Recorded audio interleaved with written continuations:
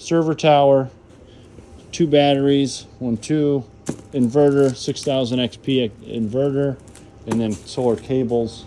But we have not received the solar panels. We will note that it did not it did not get received like this. We opened it up to confirm there's no solar panels in there, which I insisted there wasn't, but we checked it nonetheless.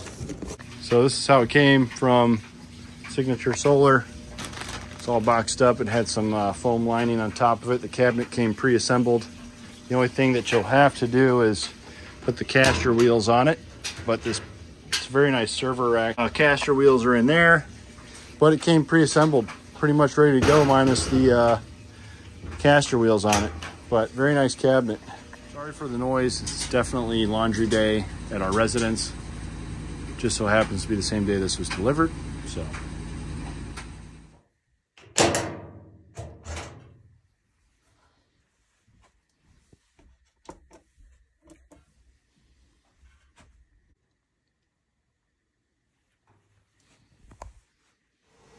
quick update on this. Uh, I've got my EG4 6000 XP mounted. Um, what I tried to do, I can power up the unit by, uh, I can turn the unit on with these EG4LLs, the newest version. And don't mind the mess, this is just all mock-up, so it's proven in theory and proven to be um, working efficiently, but um, I got our batteries fired up. We'll go ahead and turn the inverter on.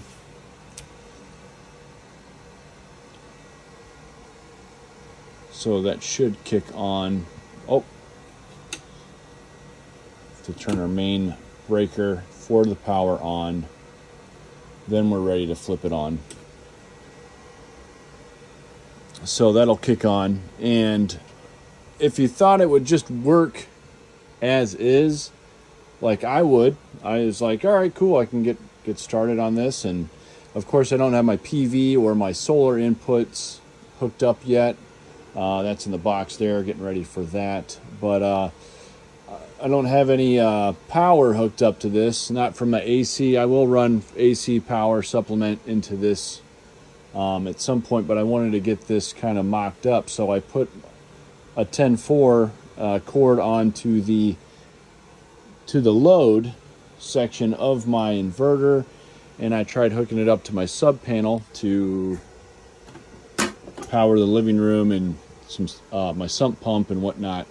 Um, but I did a mock-up, which this should work, but as I understand, um, it doesn't work right out of the box. You got to hook up with the Wi-Fi dongle, which is right here.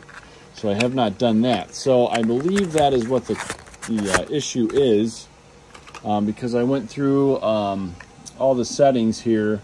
I went to setting 3, made sure I was on lithium ion batteries, which I did do, and I chose the right brand, which is the EG4, of course. So I made sure all that was correct, and I made sure all my connections were correct, but the uh, missing link here is the Wi-Fi dongle, which I have not set up which I will do and I will post an update for you guys soon. But anyway, I was just kind of giving you a, a, little bit of a peek as to what the next project is. Um, still working on the garage, is of course. Uh, I'll keep you guys posted on how this is going.